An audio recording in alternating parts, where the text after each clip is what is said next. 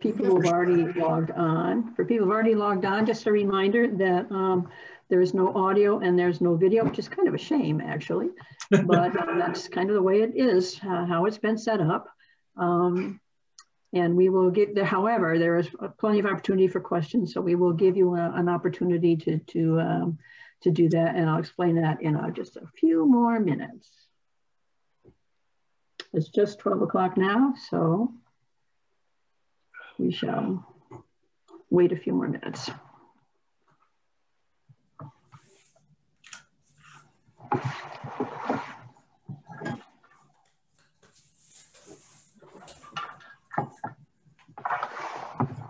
You're, you're absolutely correct about the, how dynamic this situation is. Uh, I'm trying to prepare something for the Colby Sawyer Adult Ed program uh, called Adventures in Learning. And um, constantly revising the. And even talking to 10 people's fun. I'm glad you feel that way. Absolutely. Um, okay. So oh, you're now recording again. So I'm going to open the seminar. Welcome those of you who are here um, to what I said was our ninth in the um, COVID-19 seminar series sponsored by Eastman Cares, um, our education um, committee, who I always want to give a shout out to, and that's Sally Wood and Ken Dolcart, um, and Elise Kendall and Paul and myself, and I don't think I forgot anybody. Um, and as you know already, um, there is no uh, audio or video for participants in this type of a webinar format um, which is really kind of too bad, especially with a small group like this, but that's the way it was set up. So that's the way it is. However, that being said, um, you will and do have opportunities for questions and answers um, throughout this presentation. Um, and we would encourage though, because we have Paul monitoring these, that you do it through the Q&A and you'll see a Q&A either at the bottom or the top of your screen, depending on your device. And if you put in your question into the Q&A at any point um, during this, uh, Paul will monitor those questions and then give them um, to Dr. Feyrer. Uh, hopefully I said that right. You did. Thank you. Okay. Um, and so please feel free to um, ask questions um, and you can wait till the end, uh, whatever, but we will be monitoring those so that um, I'd ask you not to use the chat or the thumbs up or the all the other mechanisms that the Zoom has. Uh, just monitoring one is a whole lot easier. Um, let's see.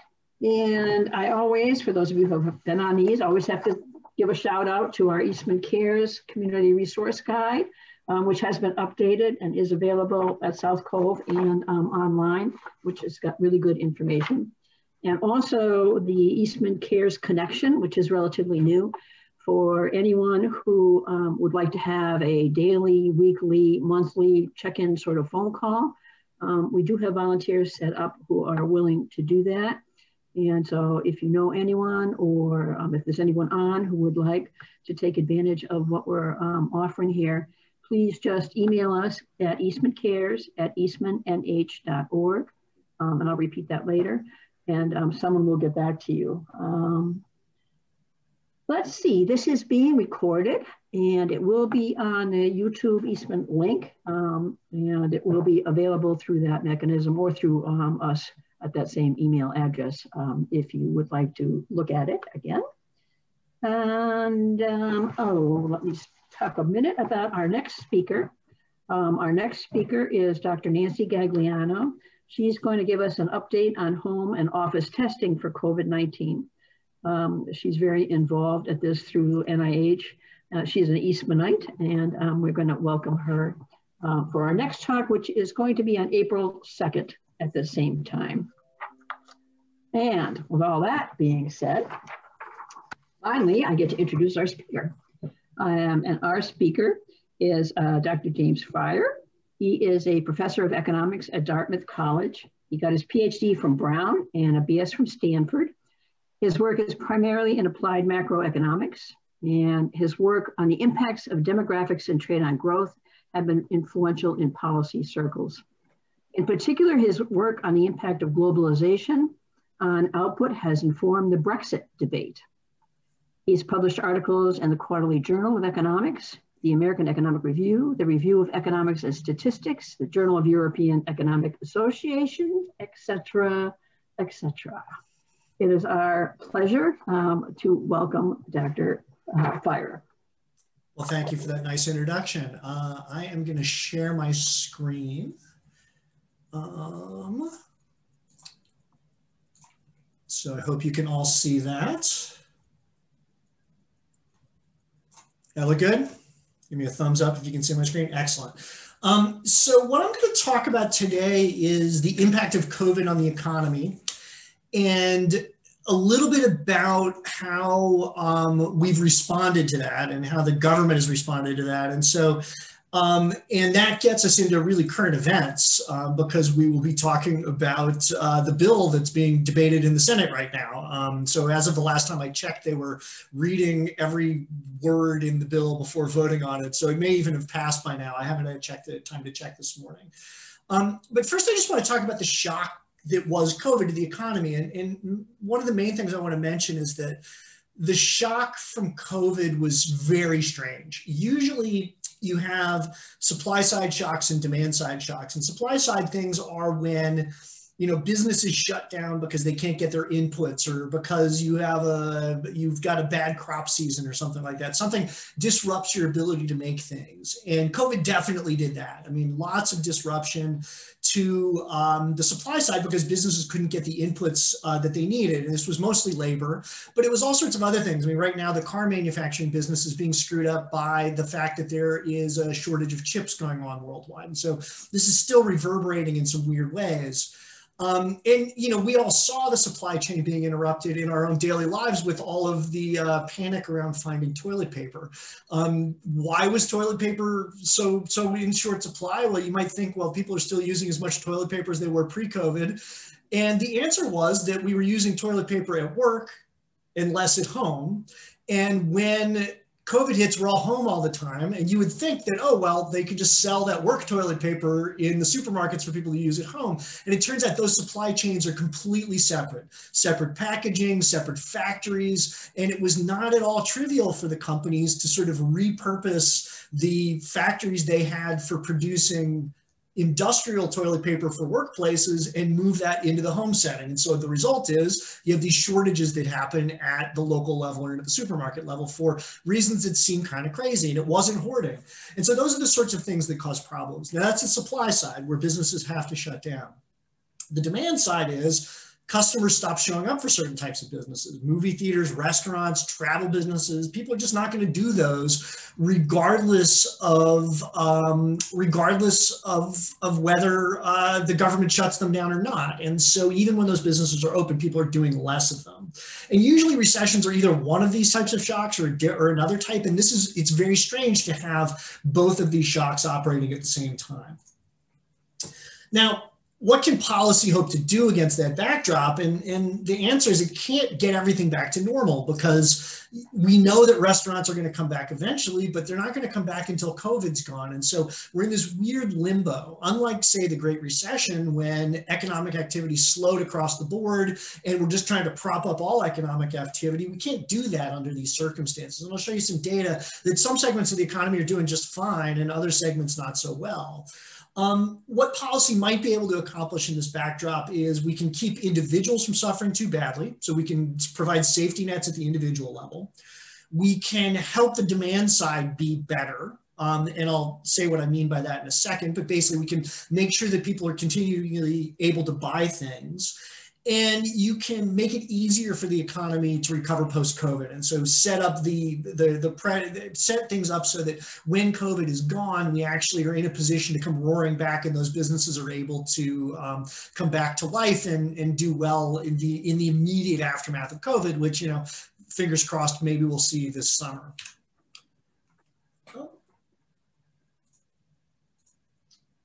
Well, that's strange. Let me show this a different way.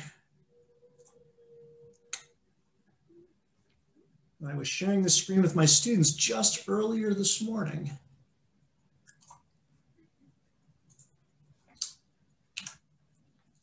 All right, can you see that now? You can see the picture? Okay.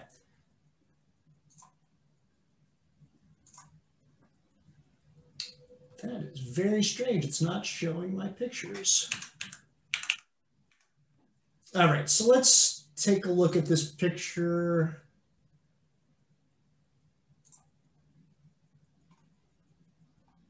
Okay, so this is showing the unemployment rate, um, and it's showing the unemployment rate during the Great Recession. And can you see this?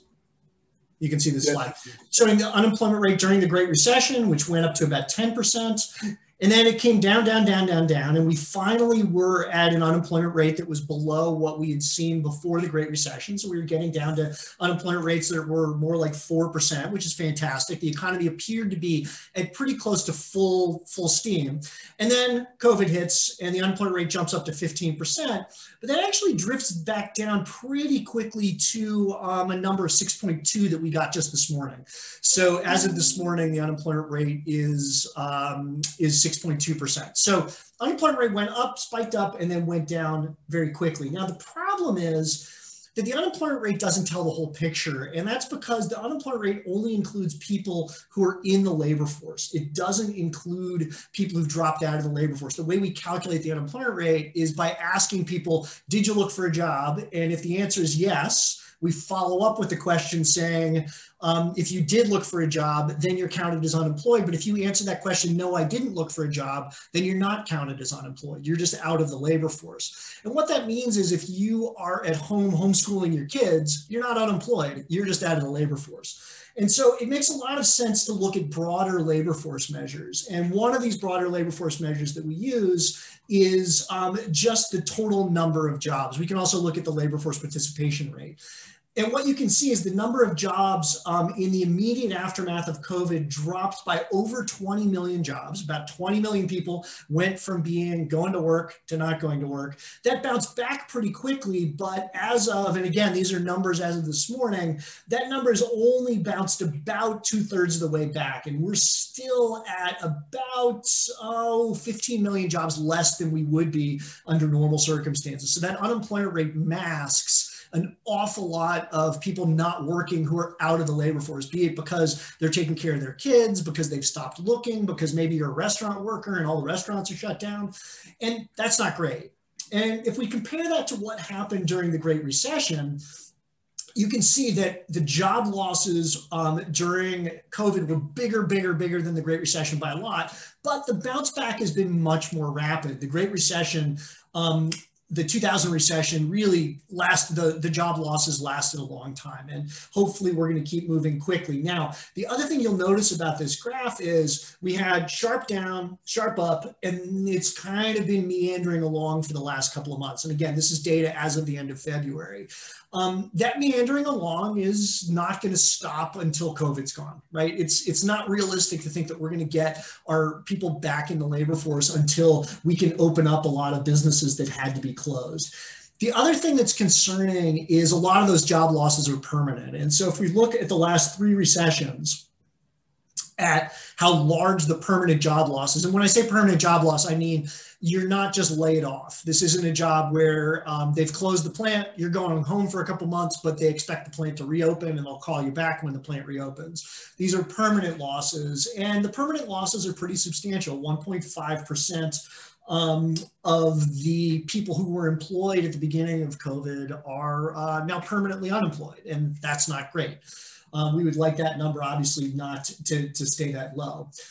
The other thing, and this is why um, we're not going to get back there until we can get back to our usual, is the pandemic has had really uneven effects on consumer spending. And so if you if you split things between goods, services, and overall spending, overall spending is down about three. Well, first of all, all three of them dropped like crazy in April. So when we had the full shutdown, um, auto plants shut down, people stopped buying things because they weren't going to stores as things recovered in May, June, July, and August, spending on goods, spending on things like automobiles and furniture and those sorts of things, that actually bounced back to greater than normal. So people are buying, people are using their Amazon and they are ordering a lot of stuff. So goods the goods market is actually doing great. Amazon's doing fine.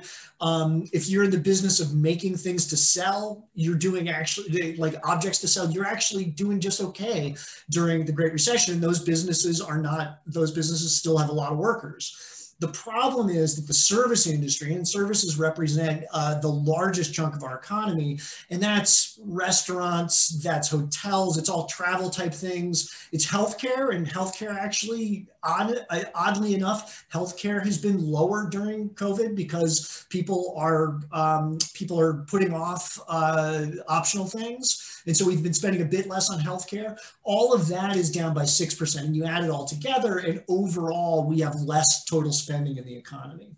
Okay. Now, what did the feds do on this? So this is the fiscal response. And now I'm talking about the response that happened in the immediate aftermath. So this is all response that happened during 2020. And I'll, I'll move on to talking about the fiscal response that we're working on now. The biggest thing we did um, for individuals was we added an extra $600 per month for um, unemployment insurance, and that lasted through July 31st, and we extended that a little bit into August.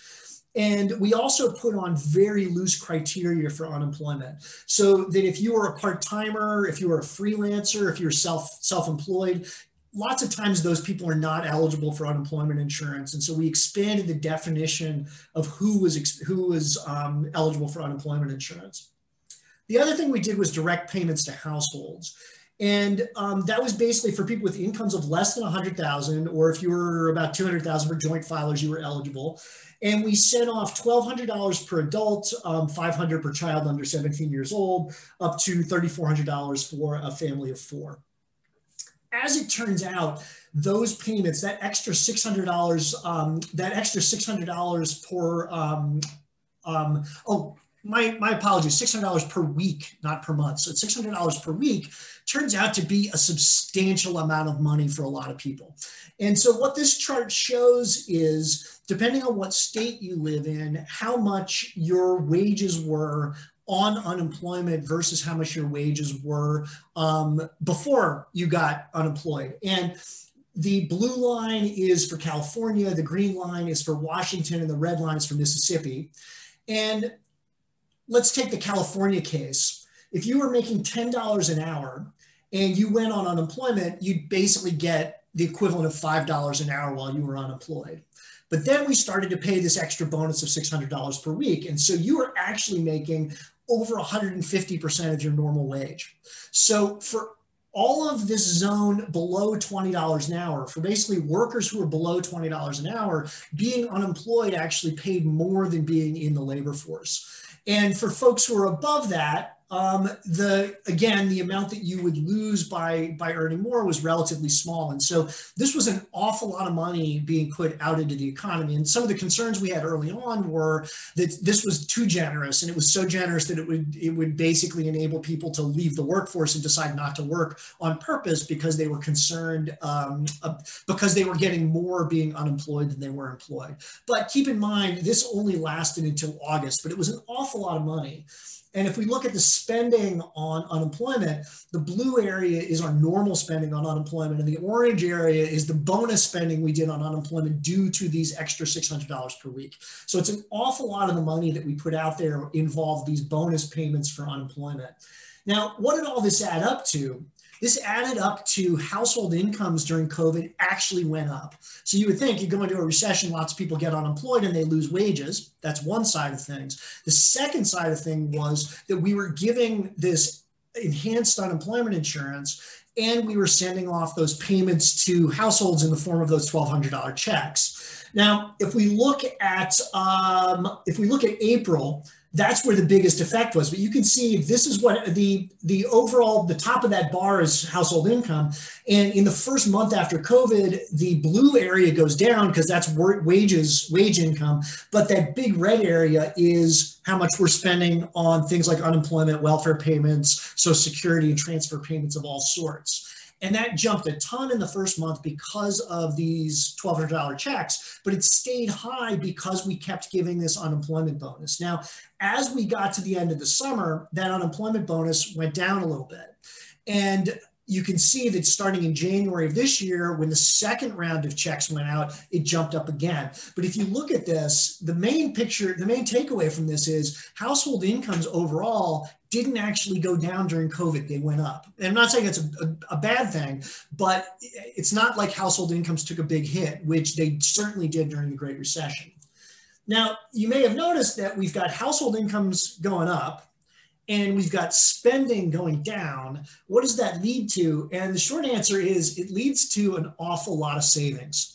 So if we look at personal income for, for, Americans, and this is this is data through November of 2020, wages went down by 43 billion, but the unemployment insurance went up by 500 billion from the CARES Act. The stimulus checks represented 276 billion. Um, and then other income went up by 265 billion, and the net result was total disposable pers- pers- total disposable income went up by 1.1.03 trillion dollars during COVID, which again is very unusual during um, a recession. And if we look at the changes in, um, in people's incomes, the green, the blue area is the direct checks to households. The green area is the unemployment insurance. And you can see that the, the amounts that were being spent out as a percentage of people's incomes were very high, 16% at the beginning. And then January with the second round of checks, it was as high as 11.6%. Now, what does that do? You're giving people a lot of extra income. They're cutting back on their spending because they're not going out to eat, they're not traveling. One of the things that happened is it landed in their checking accounts. And so if we look at how much extra income showed up in checking accounts over the course of the Great Recession, big increase for the first income quartile. So that's basically the poorest people saw their checking accounts go up by a factor of two. Their checking account balances doubled. And it went up for all the different income groups, all saw their, their the size of their checking balances go up. Second thing is lower spending, higher income equals much higher personal savings. And so if we add up the above trend income of 0.6, and this is through January, and we combine that with spending being about, about a trillion below, uh, below expected, that ends up with an extra amount of savings of $1.6 trillion, which is a lot of money in a $20 trillion economy. Okay. Um, so the aggregate savings rate went up. Normally, Americans save something like seven or eight percent of their income.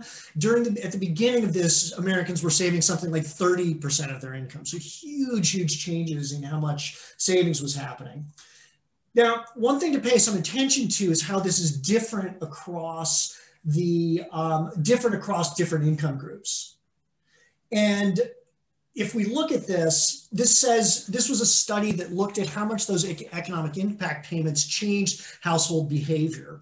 The blue area is people spending more on basically normal goods, food, household goods. The lighter, the darker blue is the durable goods, then medical care, then other spending. So the whole blue area is basically spending on stuff the yellow area is debt payments and the red area is savings. Now, one thing I would like to mention is that you should really think about debt payments as being just like savings. If you pay down your credit card versus have more money in your savings account, in both cases, you know, reducing debt and increasing savings, economists generally think about those as being roughly the same thing.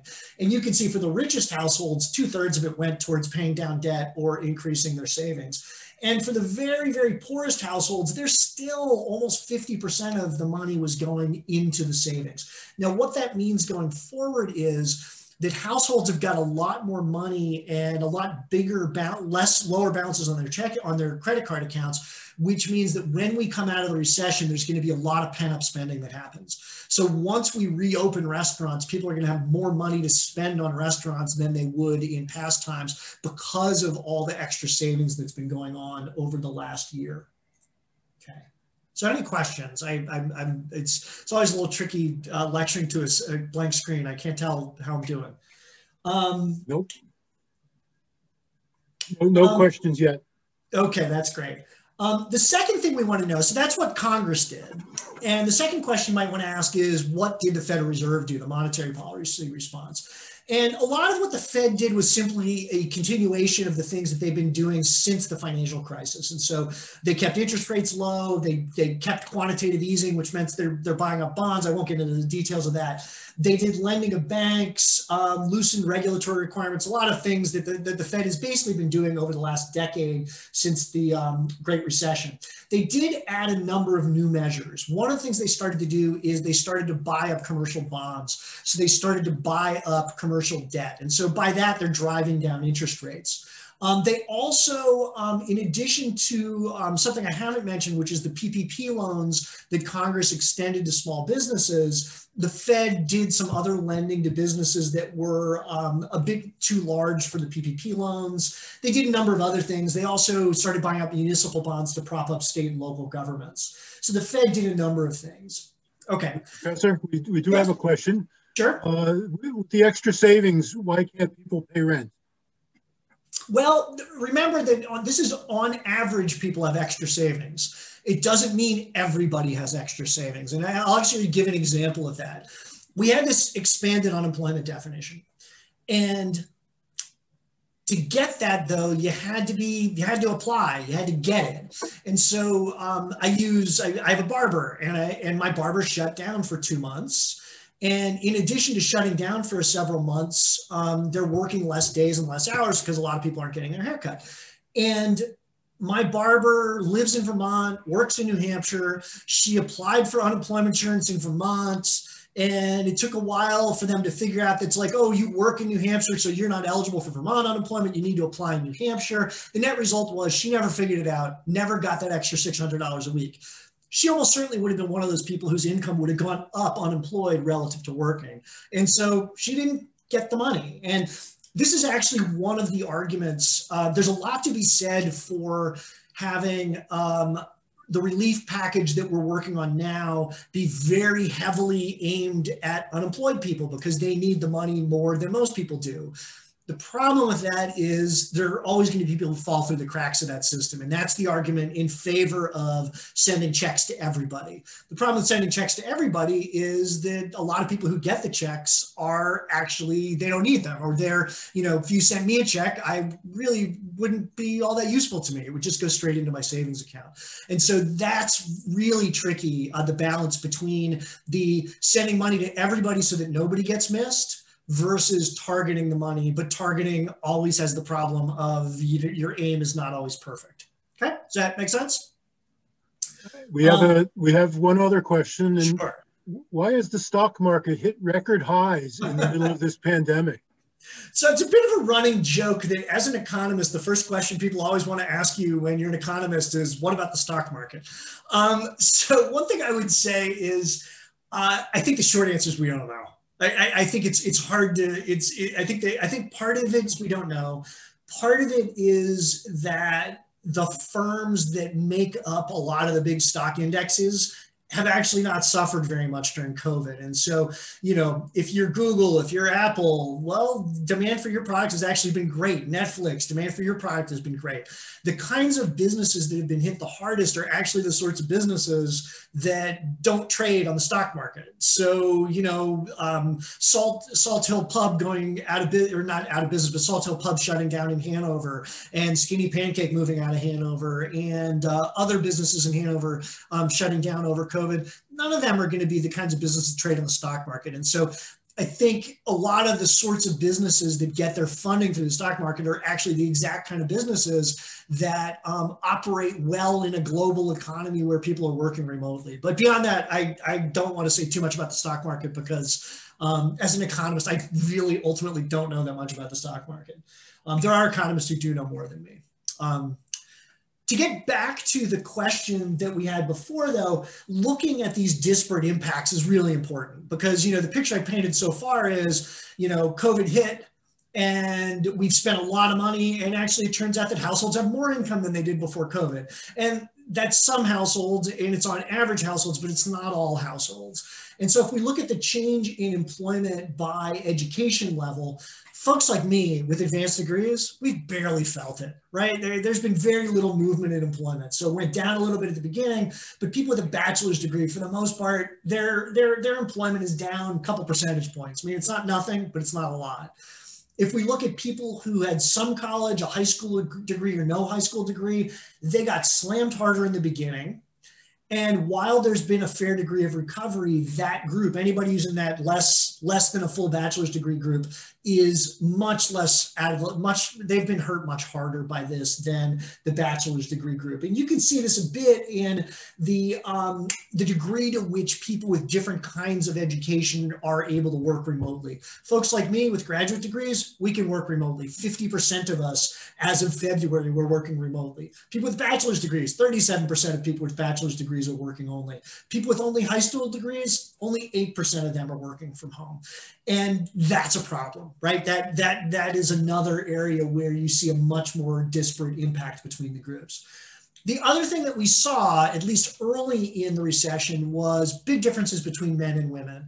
And those hit in the very beginning, more women lost their jobs than men, where women here are the mothers. And by the way, this is just um, parents living with school age kids. So this is concentrated on the school age kids zone. But basically, more women left the labor force um, at the beginning of COVID. That stayed true throughout the summer, bounced up a little bit more in September. So when kids went back to school, people with kids actually started to lose some of the recovery they've had. And in the last couple of months, actually, the female male difference has closed quite a bit. And I updated these numbers. Last time I looked at these numbers were September. And so I was actually a bit surprised to see um, that these numbers had closed up a bit. That being said, over the course of the recession, it's been worse for women than it has for men.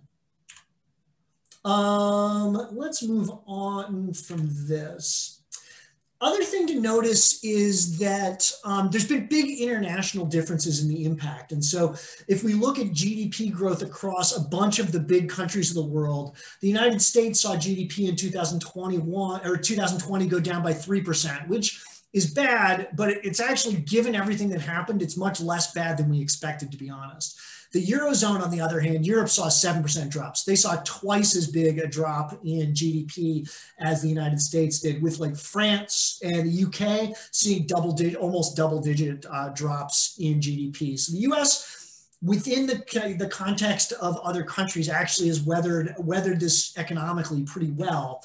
The other thing to recognize is during the pandemic, every once in a while, you'll see people talk about how, oh, the United States only sent out $1,200 to everybody and they only did it once, completely ignoring those unemployment payments that I was talking about. Um, if you look at how much the US has spent on supports as a percentage of GDP, overall support compared to Japan, Italy, Germany, and the UK is a little bit lower in the US. But the, the thing to pay attention to is the red bar, which is the red bar is that's like money sent to people. The gray area includes things like loans to businesses. The red area is how much money did you send to individuals? And the US, the amount the US spent um, sent to individuals per person er, as a percentage of GDP is actually relatively high among the rich nations. And so the US response to this um, so far has been quite large and if we pass the second package, um, our direct, our direct, um, our direct payments to individuals will be higher than anybody else in the world. All right, what's next? Most economists are expecting the recovery to take a while. And um, I think most economists aren't expecting a, a full recovery before 2022 the one thing I would say about that is economists are basically terrible at predicting stuff. That we're, we're really, really not good at forecasting. And so, one major caveat I would make to that is anybody who's making super clear predictions saying this is what's going to happen, I would be very suspicious of them because nobody knows. And the degree to which we're in uncharted territory with COVID, as I talked about in the beginning, is, is unbelievable. We've never seen anything like this around the globe before what are we about to do? So this is um, a chart from the New York Times from like a week and a half ago. So I can't make promises that this is exactly right as of today because a lot's happened politically. Um, but this is basically the spending that's being debated now. And the gray area is how much money we've already spent. You'll notice the amount that we're and the red area is what the, the Republicans were present, proposing, and the blue area is what um, the Biden plan was. And what's being debated in Congress looks an awful lot like what the Biden plan uh, looks like. A couple things to notice. One is the amount of small business aid that's in this is actually quite small relative to what we've already spent. Unemployment benefits are relatively large.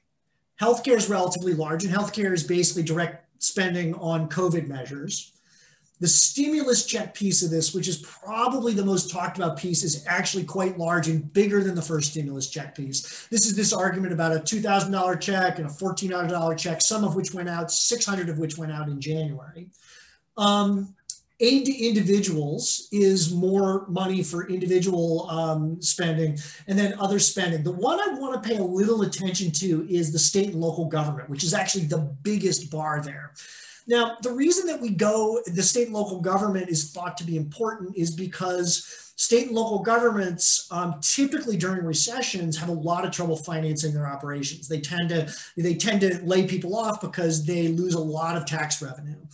Um, and that was especially true during the Great Recession. During the Great Recession, many states had a lot of trouble paying their bills, and states were basically laying off people. And the feds um, came in and gave them some support to try to keep them from doing that. And that's that's basically what this provision of the bill is for.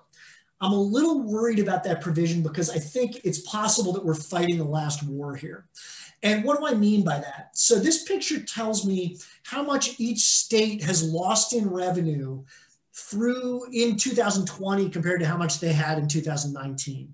The red, the states that are pictured in red um, had declining revenue between the two years, and the states that are in blue had increasing revenue across the two years. And a couple of things to notice here. One is it's kind of shocking how many states actually are collected more revenue in 2020 than 2019 despite COVID. So we look at California. California has actually more money on hand than they did in 2019. So COVID has not devastated state finances in any of these states that you see in blue.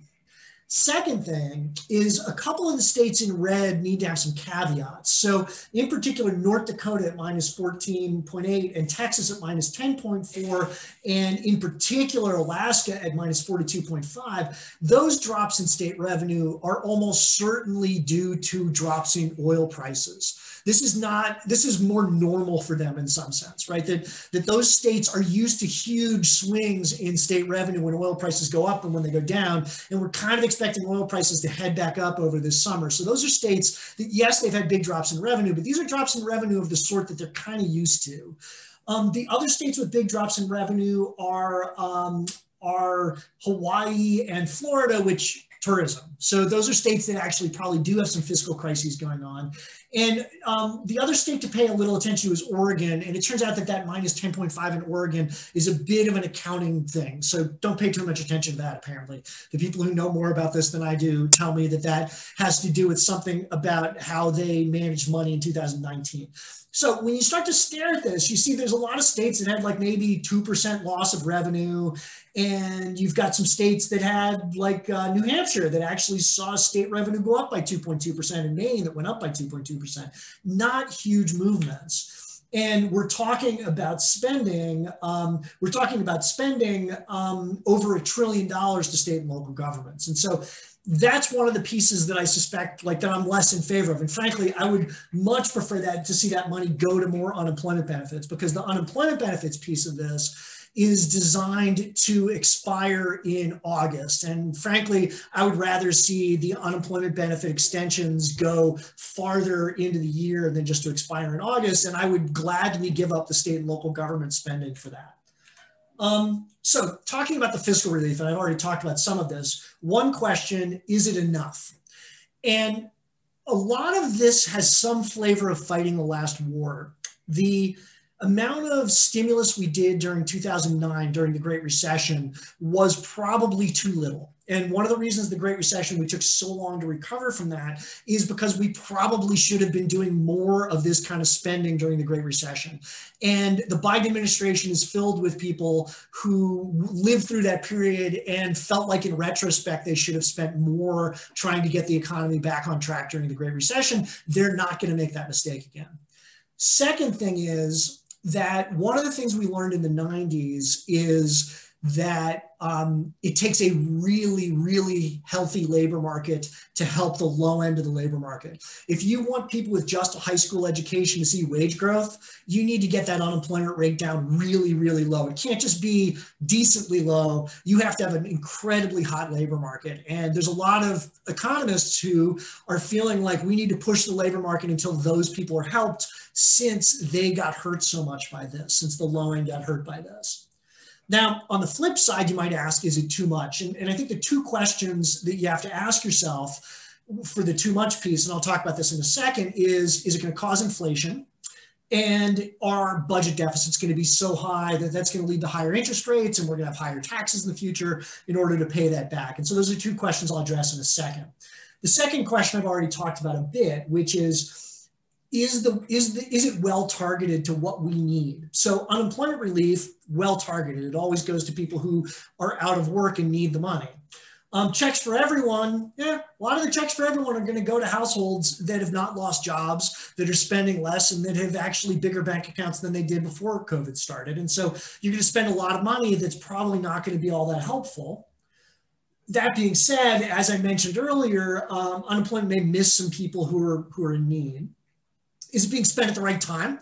So some of this state and local relief is going to things like upgrading the HVAC systems in schools. So do we really want to be spending money in 2023 with the goal of trying to get out of the COVID slump when we may be well past the COVID slump by then? So we might, any money we're spending in out years is probably not great. And then last, um, last two things, what about all the savings? So to some degree, a lot of the money we spent on relief already has yet to show up in the economy because we've got $1.6 trillion worth of additional savings that have not been spent yet and that will presumably be spent in the time after um, the recession ends. And then last but not least, how will the Fed respond? So just look at the budget deficit piece. This is um, this budget deficit. The, the graph I have here is how big is the national debt as a percentage of US GDP.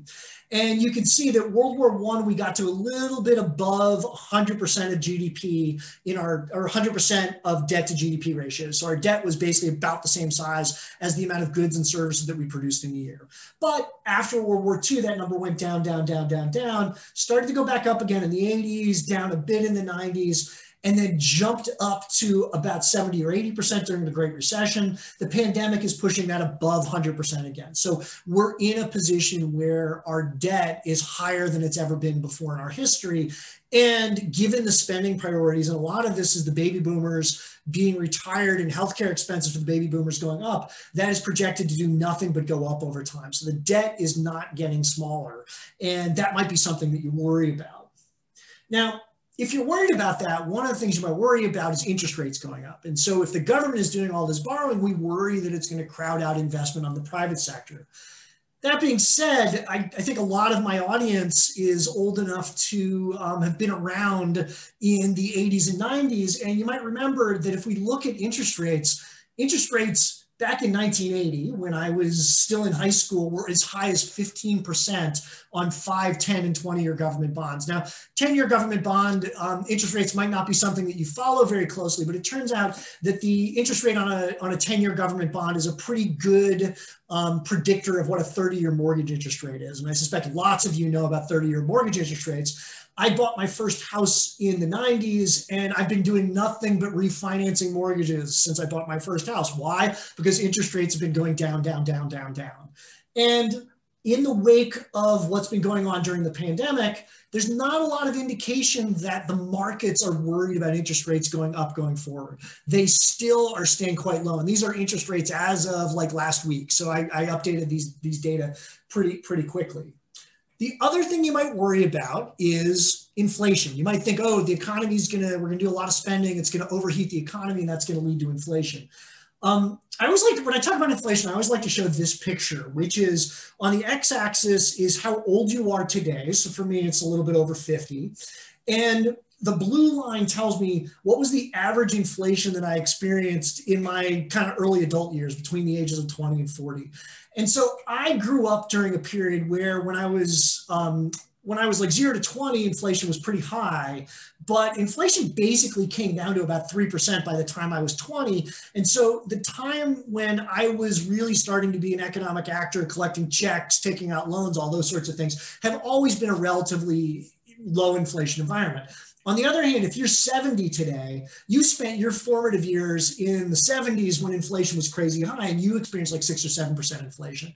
It turns out that when you talk to people, it's really hard to get people below 50 concerned about inflation, and it's really easy to get people over 60 concerned about inflation.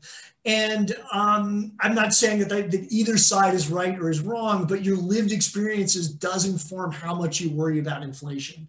Um, the Fed is increasingly run by the younger generations. The Fed of 10 years ago was worried more about inflation than the Fed now. That being said, the Fed feels like they have a pretty good understanding of how to get rid of inflation should it show up.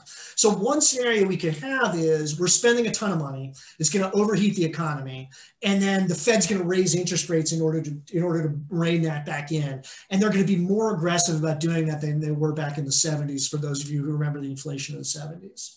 Now, one measure of how concerned we should be about inflation comes from the bond market. And we sell the Fed actually sells two kinds of bonds. They sell normal Fed treasury bonds where you know you get 5% interest a year for 10 years. And they sell what's known as treasury inflation protected securities, also known as TIPS bonds. And the TIPS bonds pay the change in the CPI plus an interest rate.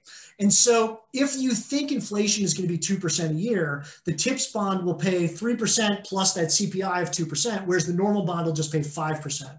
So one of the reasons the Fed likes to sell these bonds is if you look at the difference in interest rate between the one that sells for an interest rate that gets the CPI tacked on top of it versus the one that just gets a straight interest rate with no inflation adjustment the difference between those two tells you what the markets think inflation is going to be over the next five year horizon and the next 10 year horizon.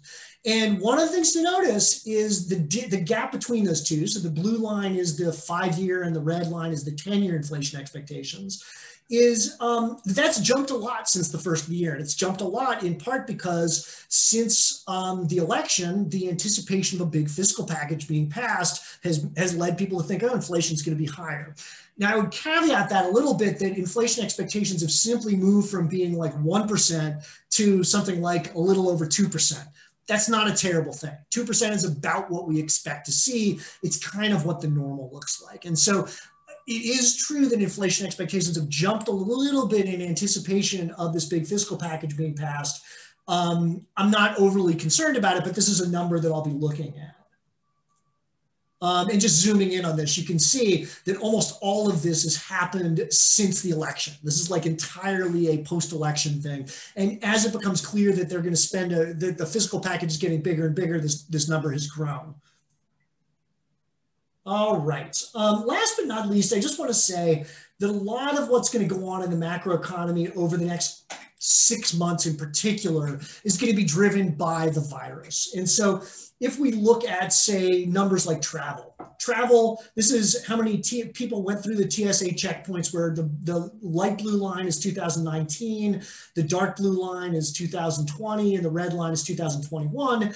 And we're, we're seeing basically about 30% of normal travel levels um, in, um, in 2020 compared to 2019, even at the end of 2019. So travel came to a halt eating out dropped like crazy. And one of the things to notice about this, and this is eating out based on um, reservations using an app from uh, OpenTable, but one of the things to notice about this is while there are some differences regionally, um, the degree to which regional differences in policy play a role is less than you think. So, you know, up here we've got Florida and Texas, which have not been super aggressive on policy, and they've had lower drops in the number of reservations, although only recently. But it's not like Florida and Texas are at normal, and it's not like um, California and New York, which have been the most aggressive about this. It's not like they have um, they have zero reservations going on. If we look at transit systems, same thing. We look at U.S. Uh, at New York City, L.A., Chicago, Houston all of the transit system ridership is way down. Doesn't matter whether your state is more shut down, less shut down, people are staying home. Um, if we look at office occupancy again, dropped um, to about 20% of normal through November of this year. And that's true for the Houston Metro, it's true for the Austin Metro, as well as it's true for the New York Metro. And in fact, the number of people working from home has basically stayed steady since about August. Dropped a little bit from the beginning to August, but stayed relatively steady. A lot of those things, you know, who knows how those are going to go? And is the vaccine penetration going to be good enough that people are willing to walk into restaurants again? Are people going to be willing to go back to cruise ships again? And so you know one of the the interesting questions going forward and i'll talk for about two minutes uh, more is how much are people going to be willing to go back to doing things? And how much are people going to like some of these changes? So retail in the us was on a downward slide before covid hit. People like amazon retail was already on the way down. And so how much of retail is actually going to bounce back? Um, are people going are there people who are going to continue to homeschool their kids? Um, online shopping seems like it's going to be a big winner from all. And so thinking about some of the long run implications for travel and leisure, for retail, for work, for education, for real estate, are places like Eastman going to see a big boost in, uh, in popularity as people want to get out of Boston and want to move out into the woods where, you know, COVID is, where it's prettier and you can do activities that don't um, involve lots of people packed into rooms. Um, I think those are the questions that we're, that we're going to see going forward.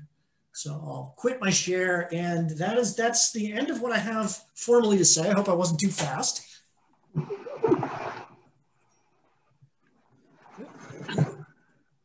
So, An excellent um, presentation. Any more, how about questions? Questions from the participants? Anyone else?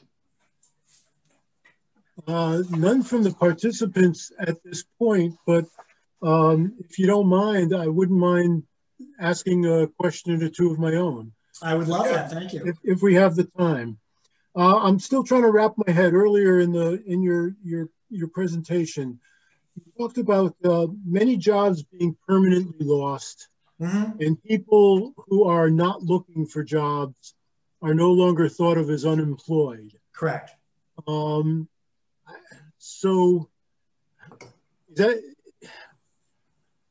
I, is that just sort of a measurement issue? Um, I mean, that's that's always true, right? So this is the standard way that we measure unemployment is always the same way. We call people up and we ask you, "Did you go to work last week?" If you did go to work, we'd say you're in the labor force and you are employed. Second question we ask if, if you say, I didn't go to work last week, we ask you, well, did you look for a job last week? If your answer to that question is no, we put you down as out of the labor force. And then we follow that up with a lot of other questions like, why weren't you in the labor force? Were you a student? Were you a stay at home parent? Were you retired? Um, are you 15? So we, we followed that up with a bunch of other questions, but the standard headline unemployment rate that, that we listen to every month is from those first two questions. Mm-hmm. And so mostly economists, so there are times actually when the unemployment rate drops and it's bad news. So sometimes in the beginning of recessions, what you'll see is, oh, the unemployment rate went from 6% to 5.9%. But it'll turn out that's because a whole bunch of people who were looking for work stopped looking because they were discouraged right? And they, they, they've been looking for three months and they decide, you know, I've looked for three months, there's nowhere else for me to look. And so we have expanded definitions of unemployment that we go to and we look at. And the broadest of those is um, is this just looking at the uh, labor force participation rate, like what percentage of adults are going to work every day. And you know, think about something. Think about like somebody who's dropped out of the labor force because they have a six-year-old whose kid is doing remote school right? I mean, that is happening everywhere. That person's not looking for a job. They know they can't take a job. They're homeschooling their kid, and they've no prospect of not homeschooling their kid for months and months and months in a lot of places. I mean, we've been blessed in Hanover by having our schools open throughout all of this. Um, but a lot of places they've been stuck at home, and I don't know what having. I can't imagine having a first grader and having them do Zoom school, right? Effectively, the parent. Um, some parents might be able to manage that by working from home, but if you were a cook at a restaurant and you um, your kid is now at home um, you're going to be out of the labor force, and there's not a lot that's going to fix that until we get things back to normal. But you're, but this is a this is a problem all the time in the sense that even during normal times, this question of who's in the labor force and who's out of the labor force is one that economists pay a lot of attention to. Okay, uh, a couple questions have come in. Uh, first, has the wealth uh, and income gap widened during COVID? And what are the prospects for this gap closing? Um, I, the, the short answer is definitely yes. Uh, I mean, some of the data that I showed you showed, um, especially across education lines, um, high income people basically didn't see a huge COVID, COVID COVID impact. If you, I mean, I, I, it's funny because faculty are very concerned about the impacts of COVID, and there's been lots of discussion among the Dartmouth faculty about COVID's impact. But if you step back a second, um, if you're, especially if you're a Hanover faculty member who lives in Hanover or Lebanon, the schools have kept working for the most part, Hanover completely. Um, your daycare has been functioning since the end of winter. Um, your job is remote, and so you're able to do what you need to do. Your paycheck never slowed down. Um, we didn't get a raise at the beginning of this year, but that's a fairly small thing, small price. Um, and so, for the most part, I, I, do worry about that, and that's a that's a lot of why there are a number of economists who are really advocating for um, really putting our foot to the floor in terms of the fiscal support. Why they think that the, the package that Congress is debating right now can't possibly be big enough because the only way to bring the bottom of that distribution up is to get the economy roaring hot. A lukewarm economy, the, economy the, the, the top end does fine in a lukewarm economy, and the bottom end of the economy doesn't do as well. A roaring hot economy does good things for the low end. And frankly, the last time we saw that was the 90s um, we've the last couple of recessions have been long, they've lingered a long time. We really haven't seen tight, tight, tight labor markets that have tended to drive up wages. We really haven't seen that since the 90s. And there's a lot of economists. And the Fed, by the way, um, the Fed is that's their thinking too. So as of this minute, the Fed very much wants the economy to get as hot as possible without inflation and I think they're going to let they're they're they're less concerned about inflation than they have been in the past. I think because they want the economy to get boiling hot to help that bottom end. Okay, and thank you. And and the last one, at least at this point, do you think the pent up demand from savings will generate more taxes, help cover some of the deficit spending? Short answer, no. Uh, I, I, mean, I, the, there seems to be politically. I mean, the only way to get more taxes is if Congress is willing to pass tax tax bills and the president's willing to sign them. And as of right now, nobody's facing any negative consequences for big budget deficits. And so the, the consequence you usually worry about for big budget deficits is interest rates rising and interest rates are super low. And so if, if the, you know, right now, I think the data I showed, the interest rate on a 10 year treasury is like 2% right now. And if inflation's 2% and you're paying 2% interest, uh, for those of you who remember your, uh, your, your, your finance, um, the real interest rate on that, basically how much you have to pay back is effectively zero.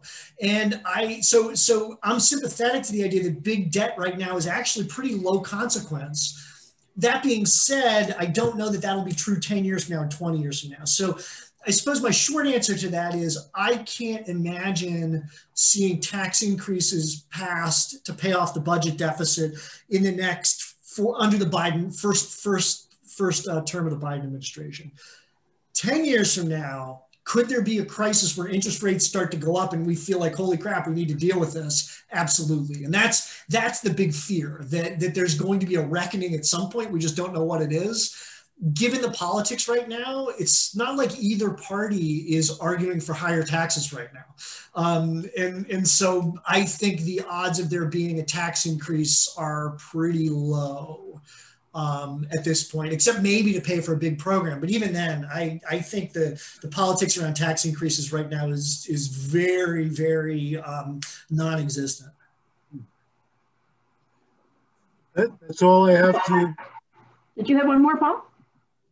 I had a question, but. Uh, well, you have time.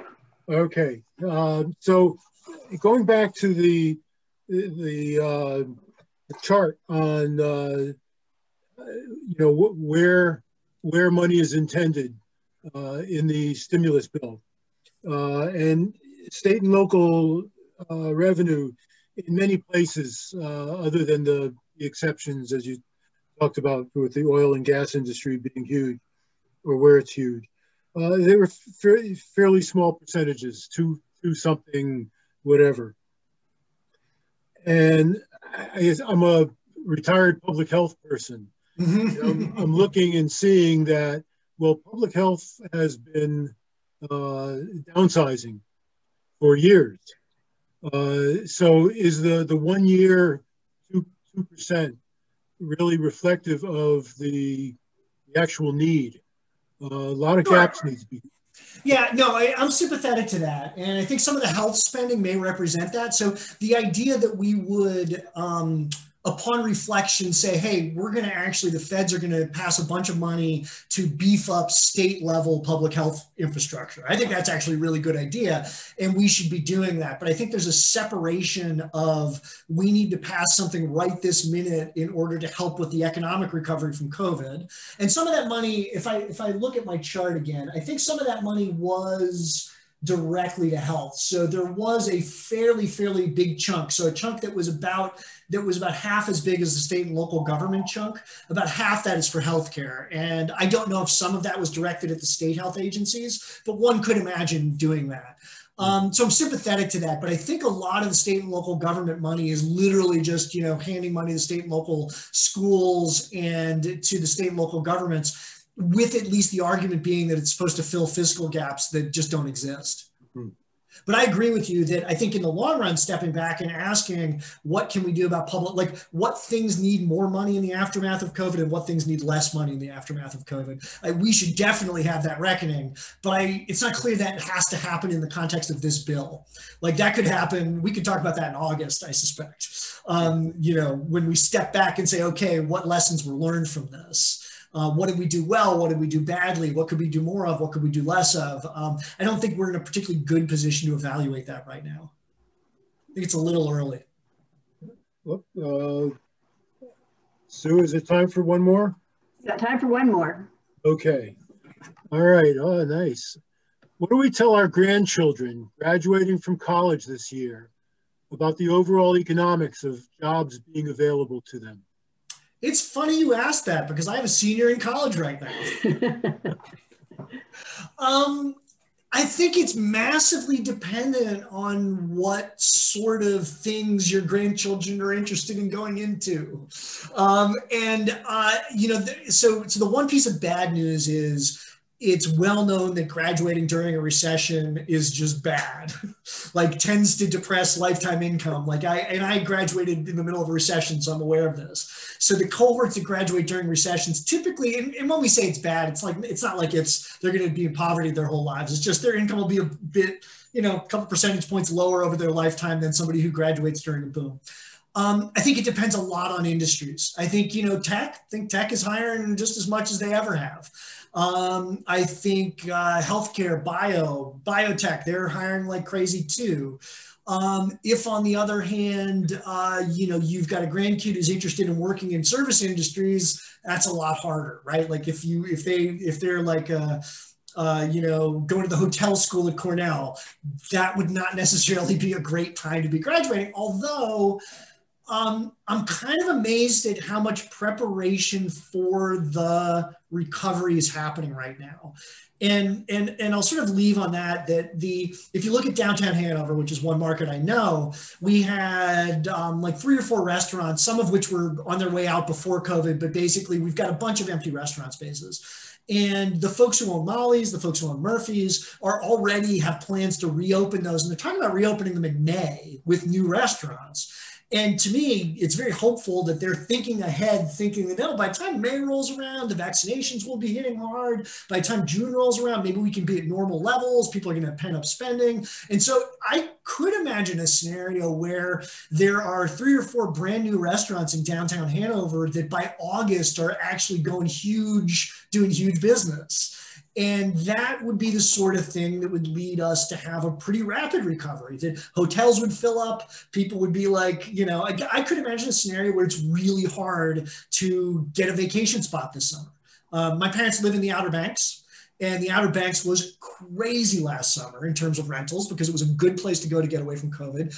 And apparently it is rented out for the whole summer. My dad, my dad plays golf with the people who run the real estate agencies down there. And uh, it's apparently already booked to the nines.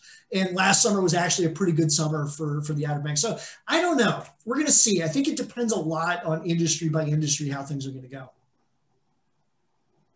Thank you. You're welcome. This was fun. That was a, a wonderful talk. Um, very much appreciated. And uh, if there are any other questions, um, you can please, you could just email us. Um, and we're also always looking for suggestions. We have three more in this series, but then um, come next year, we're always looking for suggestions for additional topics and talks. Um, and evaluation, by all means, if you have comments about any of the presentations, really let us know. So that's Eastman Cares at eastmannh.org. And again, we really want to thank uh, Professor Feyrer for his presentation. And um, I hope everyone has a good day. Thank you. Thank you all. Thank you.